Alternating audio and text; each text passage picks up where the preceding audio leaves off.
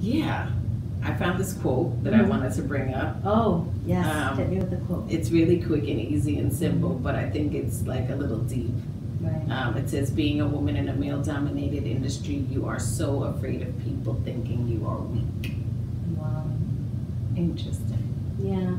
I thought that was interesting. And here, here's the thing. I've always noticed it definitely has a double standard. Mm. For example, if a male actor drops weight Mm-hmm. or gains weight Mm-hmm. for a role, Mm-hmm. people say, wow, he's dedicated. Mm. Wow, he's really worked hard for this role.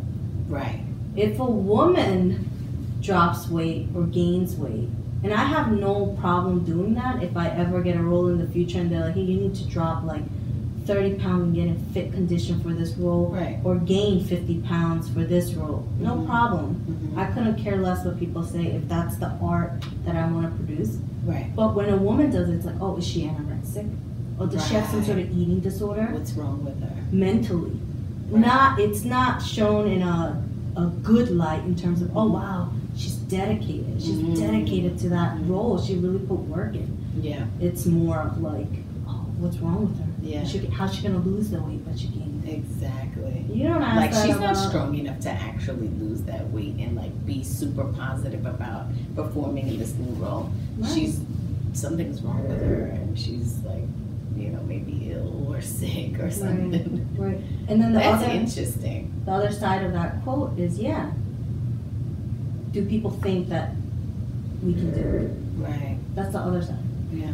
Like, oh, you think I'm weak? Cool. Let me prove you wrong. Mm-hmm. Do they think men are weak? No. They give you that. They're like, hey, you're a dude. You can do it.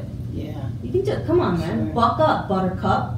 You know, like, Yeah. you know. Yeah. I think also um, there is there is something to be said about you know even men who are kind of like faced with that sort of disparity. Like, oh my God, I gotta like you know you know buck up or whatever. You know, I've gotta like you know kind of match what people think I should be. And you know, I think that women go through that all the time. So it's like you believe that the women at your job are weak and they shouldn't really be able to do that because they just don't are not skilled enough, right? Or they Mhm. just, you know, in that one article we were talking about earlier, it says like, you know, women just can't be as funny as men. It just is like there was a guy, Chris something, I can't remember his name Mm, off the top of my head, and I'm not looking at the article, mm, but he said, I mean, it was just disgusting what he said mm. like it was very male chauvinistic and Mhm. it was very like yeah women can't be as funny as men. They just can't like they're housewives and that's what they need to do and they're um, you know they're um, machine baby making machines Mhm. period. Like and i'm serious about this and i'm like what?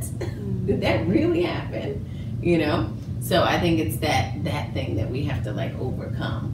Right, because it's disturbing for us as a society. Right. That people actually think that way. right and it would be great if someone would encourage that man to think differently. Totally. Because he has a mother, he has a female right. in his life. Like you wouldn't be here unless there was a female in your life. Hello. Yeah.